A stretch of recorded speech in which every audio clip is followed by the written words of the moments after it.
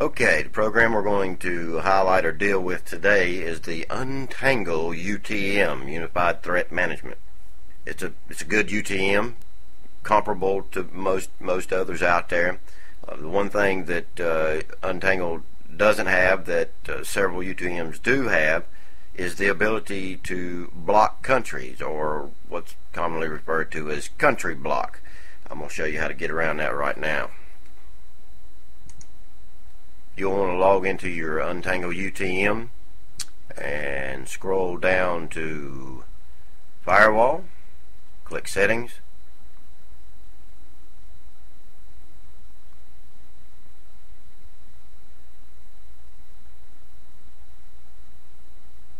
and you can see here that I've already got several countries blocked. Of course, if you block both inbound and outbound, you're not going to be able to surf to any of those countries. So more than likely all you'll want to do is just block inbound. Even though I create a rule for both inbound and outbound, of course I'm going to show you how to do that. This is so if I want to block any outbound traffic to that country, I can do so. So let's let's see how we're going to block countries in this particular UTM. Click Add. And the country I believe we'll block today is France. We'll pick on them. We'll name it.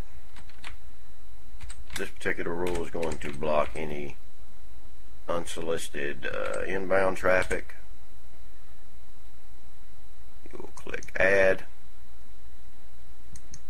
We will select the source addresses. Now, what we need are the source addresses for, for France to, to be able to block them. Kind of a little workaround that I found it that works really nice. And we'll show you what that is. uh,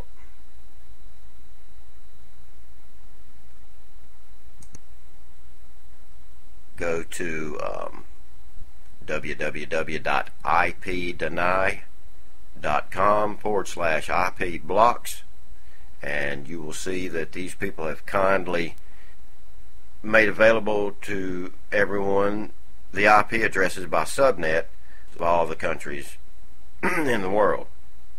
So we're wanting to block France.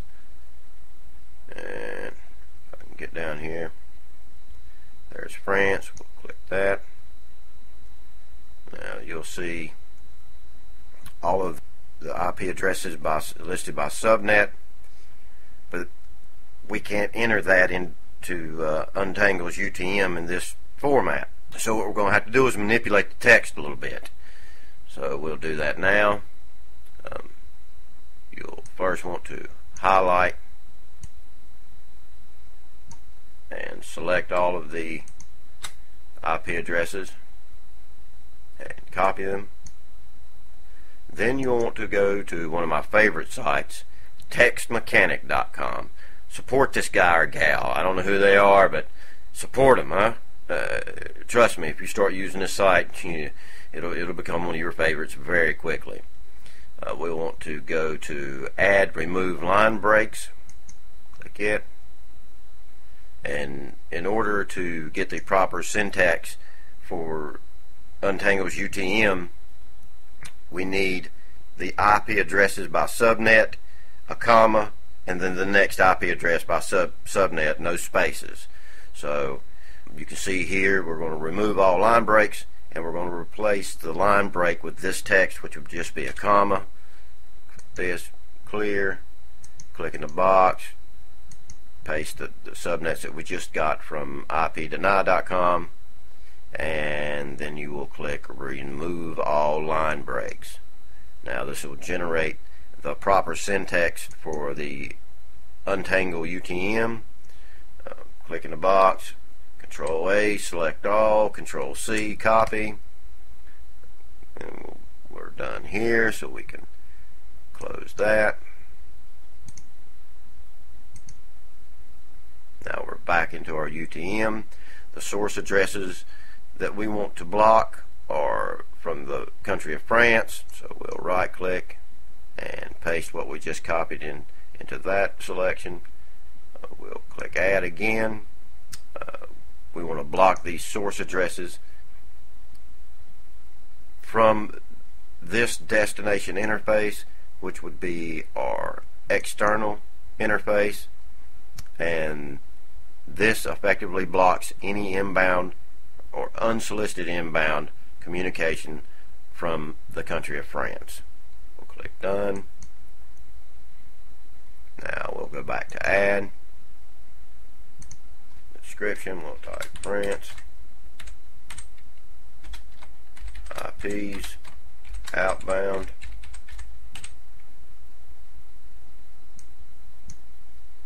Then we'll select add. The source interface, this will be going out of our computer, is the internal interface. Add again the destination addresses or address or all the, the IPs for France by subnet paste that in there block done. We'll scroll down and see our new rules now I want to be able to surf to France if, if I want to so I'm going to uncheck and basically disable the, the outbound um, rule, but it's there in case, for whatever reason, I wanted to block off all traffic, outbound and inbound traffic from France. We'll click apply.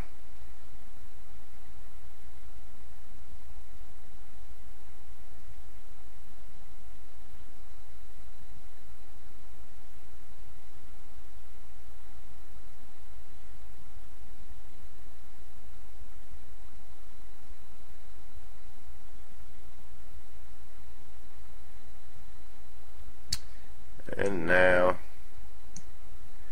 the entire country of France has been blocked from any unsolicited inbound traffic. I hope this helps you out.